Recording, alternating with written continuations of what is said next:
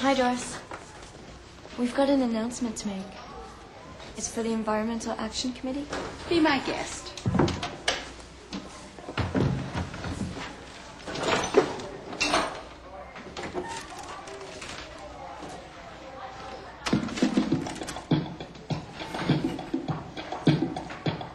Hey, listen up, people don't fall asleep. Let me tell you about the Degrassi Clean Sweep. Stopping